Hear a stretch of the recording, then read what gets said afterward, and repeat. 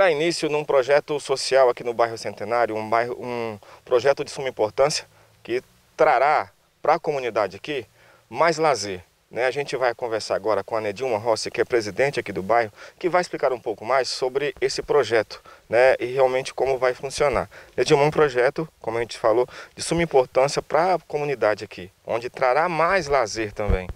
Sim, é um projeto que desde 2009 nós estávamos é, buscando apoio e agora foi aprovado um recurso de um programa Segundo Tempo, é, Ministério do Esporte, com o apoio da deputada Jaqueline Cassol. Então, esse recurso foi destinado por ela, para nós enquanto associação.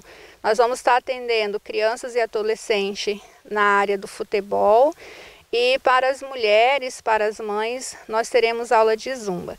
Lembrando que esse é um projeto da associação, então vai ser um projeto que vai ser desenvolvido paralelo ao projeto que já está sendo desenvolvido pela escolinha.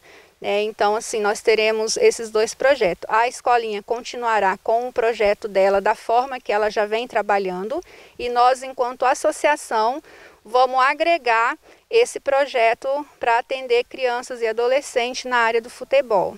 As inscrições já começam agora. E quais serão os critérios para que a comunidade possa participar?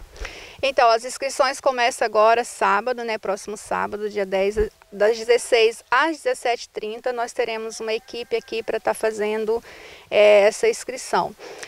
O critério é atender pessoas é, que não têm condições de pagar, né? Então, aquelas pessoas que não têm condição, nesse, principalmente nesse processo que nós estamos passando, de pagar uma mensalidade para fazer uma aula de zumba ou colocar o, o seu filho para fazer uma atividade, nós vamos estar é, desenvolvendo esse trabalho aqui na associação. Qualquer morador do município, em qualquer localidade, tem sim é, o direito de estar participando das atividades, não tem restrição. Lembrando que o recurso ele veio para a Associação de Moradores do Bairro Centenário, porém é um recurso que vai atender a comunidade do município de Rolim de Moura. E para poder coordenar todo esse trabalho terá um monitor? Sim, na aula de futebol nós teremos dois monitores que nós já fizemos né, uma parceria com os monitores da escolinha, por eles já está desenvolvendo esse trabalho aqui na associação e nós temos a monitora de aula de Zumba, que vai estar tá aqui desenvolvendo todo esse trabalho conosco. E temos a nossa coordenadora do projeto, que é a Gislaine Lima, né? Ela é coordenadora do projeto. Nós estaremos aí a, juntamente com, com a associação é, trabalhando com esse projeto onde que estará atendendo todas as crianças, né? estará beneficiando.